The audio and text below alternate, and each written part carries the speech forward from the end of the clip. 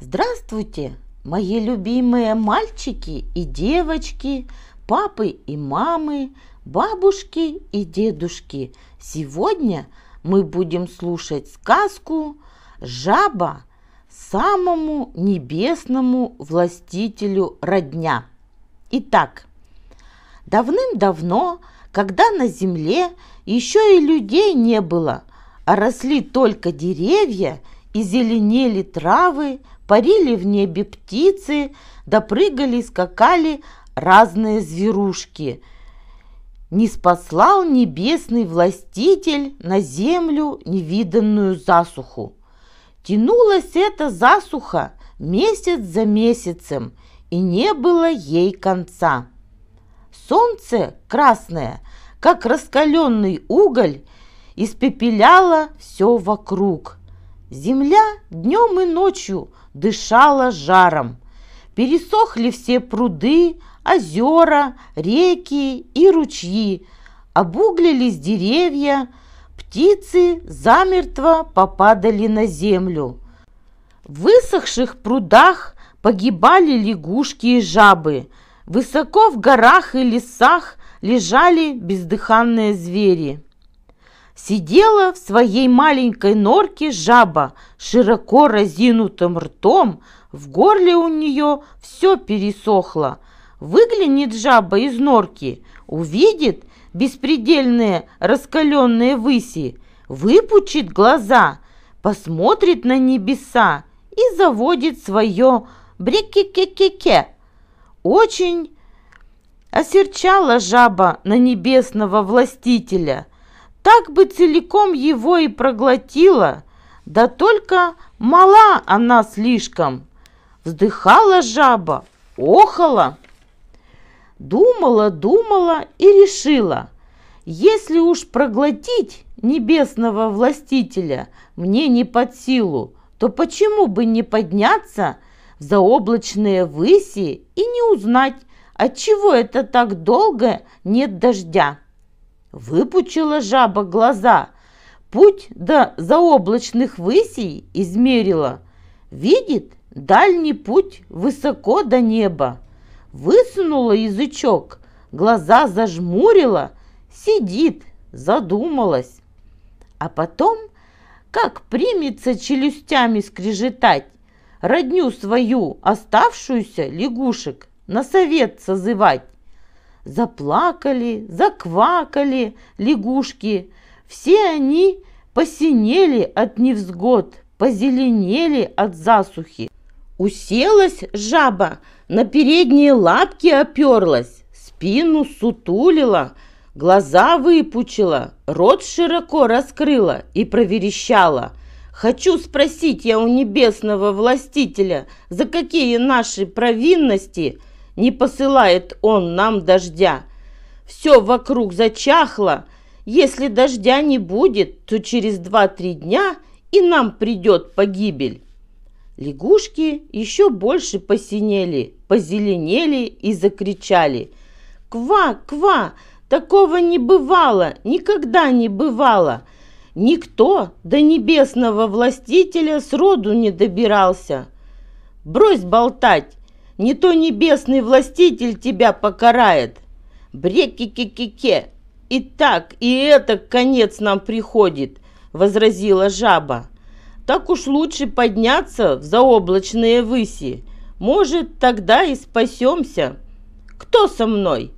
Перед небесным властителем я ответ держать буду. На меня положитесь. Поскакали лягушки вслед за жабой. А молва Впереди их несется, что, мол, идет жаба с родней к самому небесному властителю тяжбу затевать. Прыгает жаба, в лапке увядший лист держит, будто знамя. Кожа у нее вся пупырышками покрылась. Лягушки громко квакают, скачут так быстро, только лапки сверкают. Шли они мимо бамбуковой рощицы с обгоревшими листочками, а там желтый петух от солнцепека прятался. Смотрит, идет мимо жаба с лягушками. спрашивает петух. Кукареку! Эй, жаба! Куда это ведешь ты лягушек по такому пеклу? Выпучила жаба глаза, широко разинула рот, машет лист, листом флагом. Брек-ке-ке-ке-ке! Небо послало нам великую засуху. Иду я к небесному властителю о дожде его просить. Встрепенулся желтый петух. Далеки небесные выси, как до них доберешься?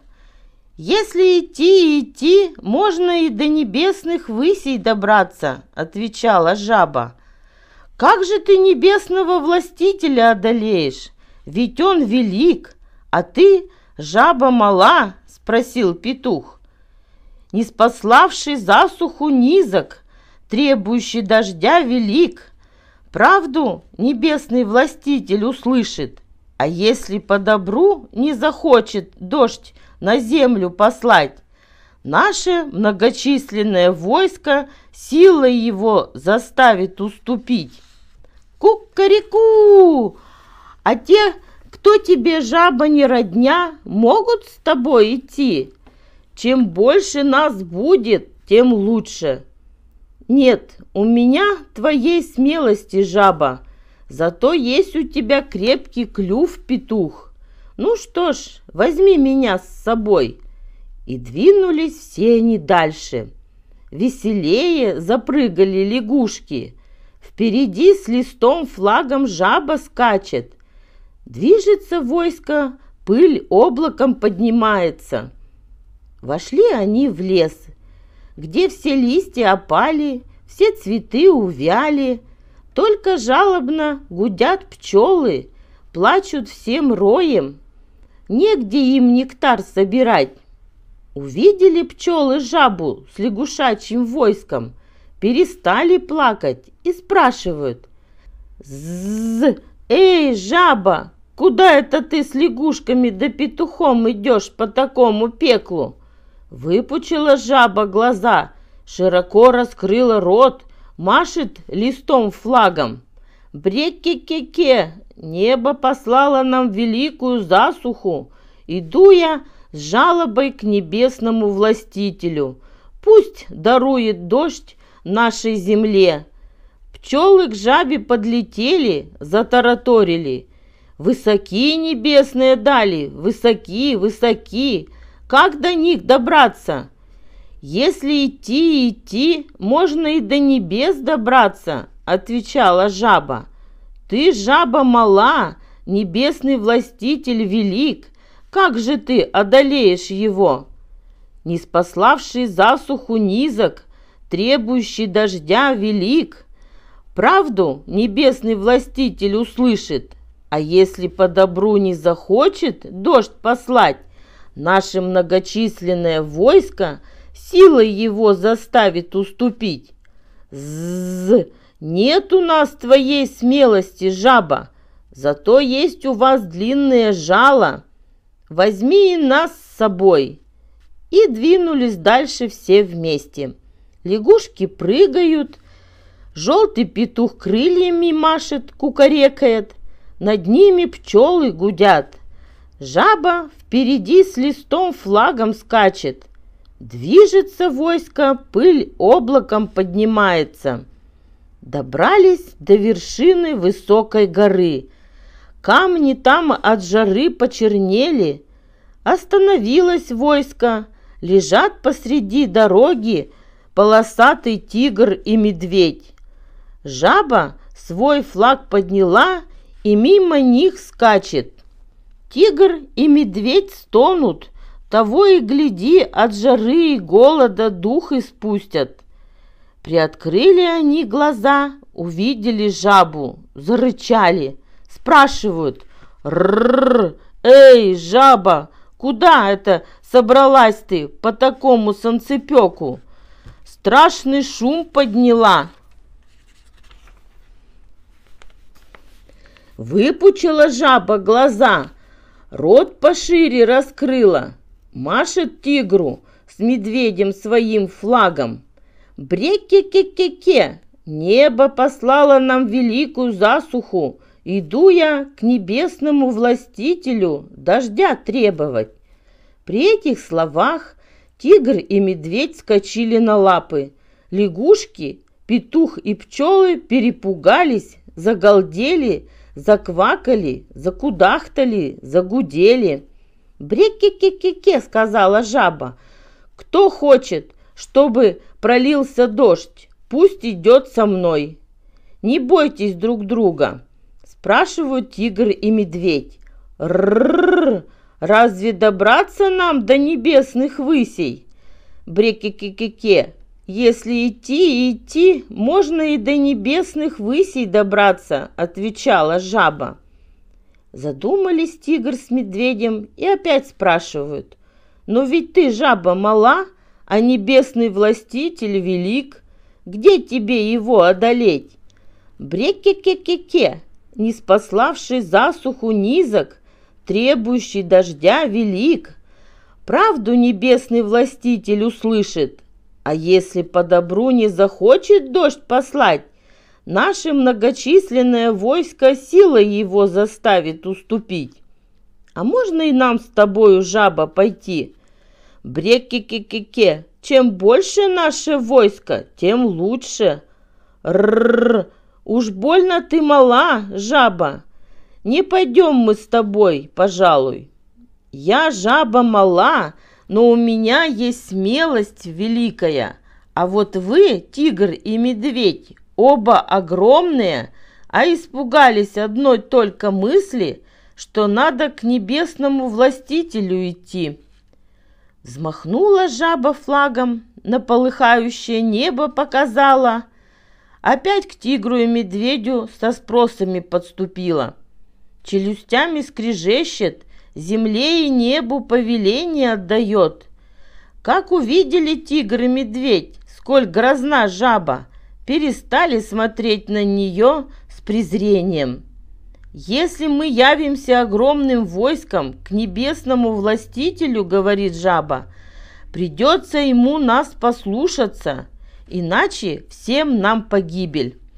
Рррр, да, ты права. Раньше мы презирали тебя, жаба, но теперь уважаем за смелость. Ты слаба и мала, но с тобою петух и пчелы. Ты дерзаешь прямо на небеса смотреть. Мы пойдем с тобой. Да только нет у нас твоей смелости – Брек-ке-ке-ке-ке. Зато медведь карабкается по деревьям искусно. У тигра есть могучая сила. Разве этого мало? Ну что ж, разреши нам идти с тобой. Сговорились они идти вместе. Подняла жаба вверх лапку с флагом, прыгнула на высокий камень. Лягушки столпились вокруг, Петух уселся на большом поваленном дереве, пчелы вились, гудели над ними. С одной стороны встал рядом с жабой полосатый тигр, рычит для острастки. С другой медведь лапу поднял, того, гляди, врага с ног свалит. Широко-широко разинула жаба рот, раздулась у ней брюшко — Набралась она духу, взглянула на полыхающее небо и громко сказала «Бреке-ке-ке-ке, теперь мы доберемся до небес. Придется небесному властителю сделать по-нашему, потому что у меня, у жабы, великая смелость, у лягушек проворство, у петуха крепкий клюв, у пчел длинное жало – у тигра могучая сила, у медведя искусство высоко лазать. Все ли вы согласны идти к небесному властителю с жалобой? Мы согласны, заквакали лягушки. Согласны, захлопал крыльями петух. Загудели, заплясали пчелы. Согласны. Потянулся тигр, когти и клыки выставил. Рядом с вами пойду. А медведь, чтобы талантом похвастаться, мигом влез на высоченное дерево. И двинулось войско. Впереди пчелы летят, следом жаба с флагом скачет. С правой стороны от нее петух шагает, с левой тигр с медведем идут, а позади прыгает, скачет лягушачье воинство, жабья родня. Движется войско, пыль облаком поднимается. Долго-долго шли они в душном облаке пыли, все сильнее и жарче пекло солнце. Лист флаг у жабы в лапке совсем пожух, пожелтел. Наконец добралось войско до заоблачных высей, до самых ворот обители небесного властителя. Стоят, глаза зажмурили, все вокруг так полыхает, того и гляди, звери в залу превратятся. Ворота в обитель небесного властителя высокие-высокие, заперты они крепко-накрепко, с двух сторон могучие крепостные стены, ни за что не забраться. Как же нам быть, жаба? Зароптало войско. Нелегко до небесного властителя добраться. Что же нам делать? Жаба широко раскрыла свои выпученные глаза, увидела на крепостной стене в башне большой барабан стоит и говорит медведю, «Полезай-ка ты по стене, заберись в башню, да ударь трижды в барабан, знак подай, что, мол, вызываем мы небесного властителя, разговор к нему у нас есть». Как сказала жаба, медведь так и сделал. Залез в башню, схватил палочку и трижды стукнул в барабан. Закачались крепостные стены, и гром докатился до запретных покоев небесного властителя. А небесный властитель как раз в это время играл в шахматы с приближенным своим духом грома небесного – Услышал небесный властитель барабанный грохот, руку от шахмат отнял и спрашивает. Кто это дерзнул нарушить покой нашего небесного дворца? Кто посмел бить в барабан, когда я в шахматы играю? Вбежала дворцовая стража, доложила в испуге, что крепостные стены окружило войско жабы, требует, чтобы пустили жабу пред очи небесного властителя для беседы. Разгневался небесный властитель, сбросил шахматную доску на нефритовый пол и грозно воскликнул. «Жаба? Тварь невзрачная, худородная, грязнуха болотная хочет, чтоб небесный властитель удостоил ее беседой, а барабан гремел, не умолкая, все вокруг звенело и гудело. Не выдержал небесный властитель, обернулся к духу грома небесного и в гневе приказал. «Главноначальствующий над войском нашим, повелеваем тебе громом и молнией погубить эту ничтожную жабу и ее гадкое войско. Дух грома небесного схватил свой боевой топор молнию и вышел за ворота.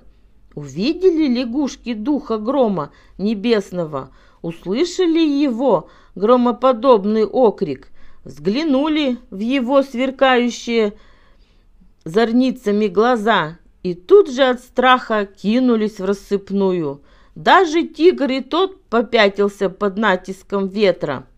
И только жаба высоко подняла свой листок-флаг, раскрыла пошире рот, надула брюшко, да как крикнет «Бреки-ке-ке-ке! Где вы, пчелы мои с длинными жалами? Летите-ка сюда, да жальте духа небесного в нос, в глаза, в уши!»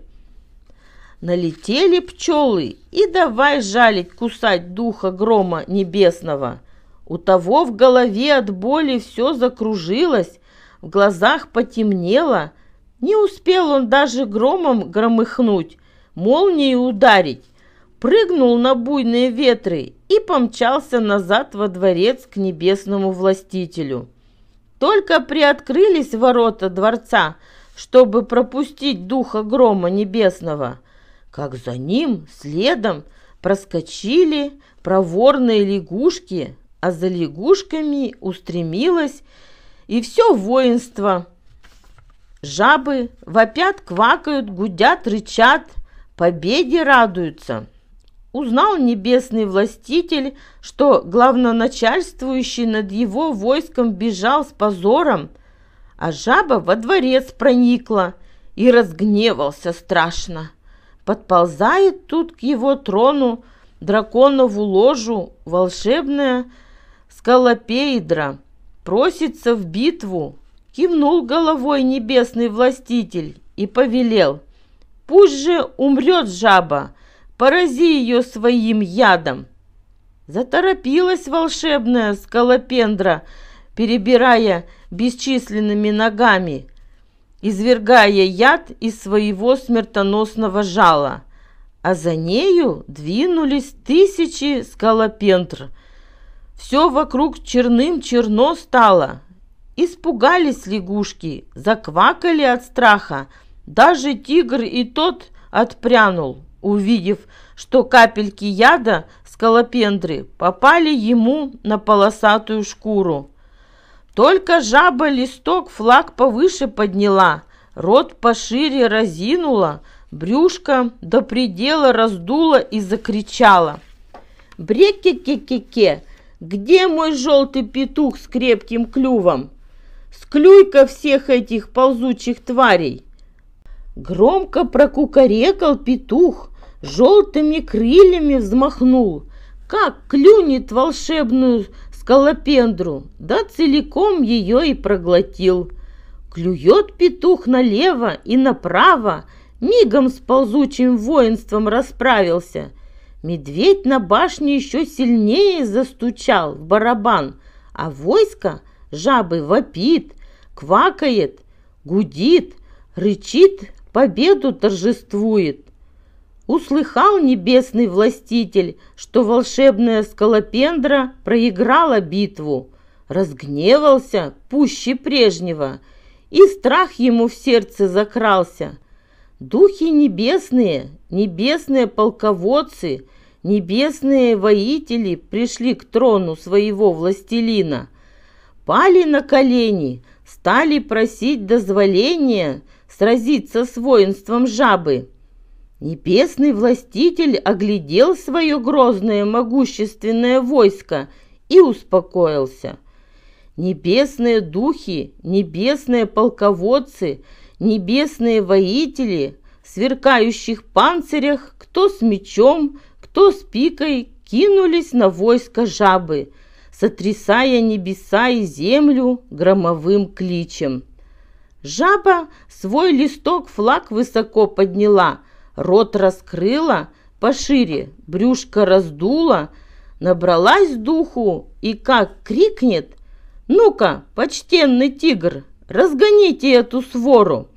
Напружинился тигр, выставил клыки, расправил когти, зарычал и прыгнул прямо в толпу небесных духов. Много тут полководцев и воителей погибло, а кто уцелел, побросав свои блестящие доспехи, в страхе бежал. Медведь на башне в барабан бьет, жаба листок флаг высоко поднимает, войско жабы вопит, квакает, гудит, рычит, победу торжествует. Вошла жаба во дворец, приблизилась к государь... государевым покоям, драконову двору. Справа от нее желтый петух стоит, слева полосатый тигр, над нею пчелы вьются, гудят, вокруг лягушки прыгают. Села жаба посреди драконового двора, подняла свой флаг к небесному властителю, взывает. Бреке-ке-ке, о небесный властитель! Вот уже несколько лет вы не посылаете к нам на землю дождя, потому пересохли реки и ручьи, почернели травы и деревья, птицы и звери гибнут без счету. Услышал эти слова небесный властитель, приободрился. Раз в этом только дело, придется выйти. Поговорю с жабой. Такая безобразная тварь, а смелость у нее необычайная. Появился небесный властитель на государевой драконовой галерее и спрашивает, «Зачем хотела ты, жаба, предстать пред нашими очами?» «Брек-ке-ке-ке», отвечает жаба, «О, небесный властитель, у нас к вам только одна просьба, чтобы все мы не погибли от страшной засухи, неспосланной вами, одарите землю дождем». Рассмеялся небесный властитель, закивал головой. «Так вот оно что! Значит, ты только за этим и шла ко мне?» «Возвращайся во свояси, жаба! Я сейчас же пошлю на землю дождь!» Наклонилась жаба, взглянула вниз на земной мир, поднялся там ветер, собрались черные тучи, все потемнело, четырех странах света и хлынул невиданный дождь. Загудели, полетели пчелы, громко и грозно прокукарекал петух, полосатый тигр напружинился, зарычал от радости, а медведь еще громче стал бить в барабан. Обернулась тут жаба и говорит, «О, небесный властитель, теперь можно возвращаться, но как Известим мы вас в следующий раз, когда на земле опять случится засуха. Придумай что-нибудь, жаба, только не являйся больше пред наши очи, поспешно ответил небесный властитель. Хорошо, давайте, о небесный властитель, условимся с вами, что как только подам я свой голос и закричу «бреки-ке-ке», вы тот час пошлете на землю дождь. «Ладно, ладно, пусть будет по-твоему», — сказал небесный властитель. «Только не шуми больше в моем дворце». На том они и расстались, и повела жаба свое войско обратно. Когда вернулись они на землю, небо больше не полыхало огнем. Вокруг веяло приятной прохладой, шумели реки, и прозрачной влагой наполнились ручьи, Везде зеленели деревья, пели птицы. Успела приумножиться и родня жабы. Все они явились встретить ее с почетом. А маленькая, неказистая жаба, устав с дороги, возвратилась в свое тихое укрытие и легла почевать. Дышать жабе стало легче. Она закрыла глаза и тихо про себя улыбаясь уснула. С того времени стоит только жабе подать голос бреки-ке-ке-ке, и сразу же небесный властитель посылает дождь. Видно, поэтому почтенные наши пращуры говорили, жаба самому небесному властителю родней приходится, и наказывали детям и внукам – Никогда не трогать жаб, всегда помнить об их заслугах и пользе. Вот и сказки конец, а кто слушал, молодец. Понравилось видео? Подписывайся на канал, ставь лайк, пиши комментарии и жми на колокольчик. До встречи в новых видео.